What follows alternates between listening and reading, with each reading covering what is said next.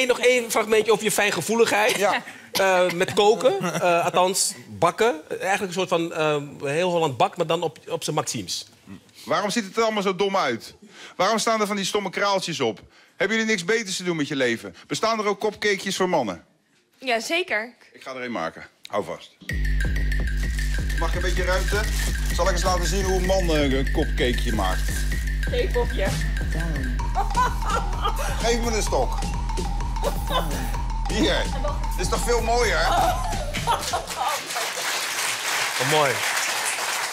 Maxime is het tweede seizoen. Hoe lang kan je nog doorgaan, denk je? Want ik bedoel, dit is, dit is natuurlijk eh, dit is heel erg geestig om naar te kijken. Maar dit, dit kan je eindeloos herhalen natuurlijk, ook in het mooi- buitenland. dat is het mooie ervan. Ik, ik ben met Duitsland in gesprek. Jij bent toch ook al een keer in Duitsland geweest? Ja, een tijdje. Twee, drie weken in het eh, klooster en ik kan in Duitsland aan de gang. Daar is de positie van de man ook heel zwak. Dus dat is de volgende stap. Dat is de volgende stap. Chantal Jans achterna, Maxime in Ja, Duitsland. niet achterna inhalen. In... Maxime Hartman, dankjewel.